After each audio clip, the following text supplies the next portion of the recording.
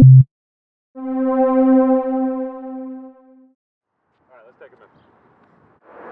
this is my dog Flint, and uh, this is one of his first shows. So we're here uh, at the show, to see what he does. Hope for the best. It'll be fun to see all the different breeds and see who shows up with uh, some pretty good dogs. If you do this long enough, you, you run into a lot of uh, uh, unique situations, and, and uh, but you know, for the most part, everybody's here for good reasons, and uh, you know, so we have a lot of fun. We've lost our minds. We drove in from Atlanta. This morning. Six poodles, one being a toy, and five standards.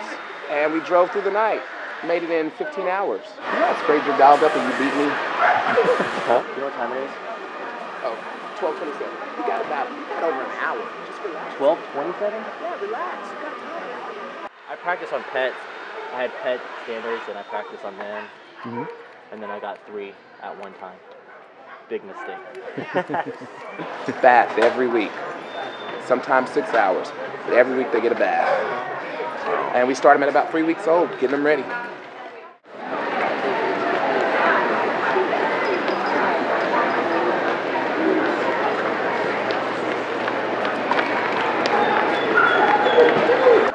Um, she got second in the classes.